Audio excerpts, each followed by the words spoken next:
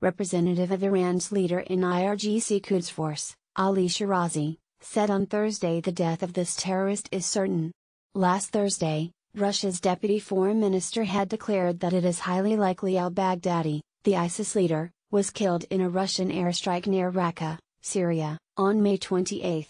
Oleg Syromolotov told Sputnik the information is now verified through various channels.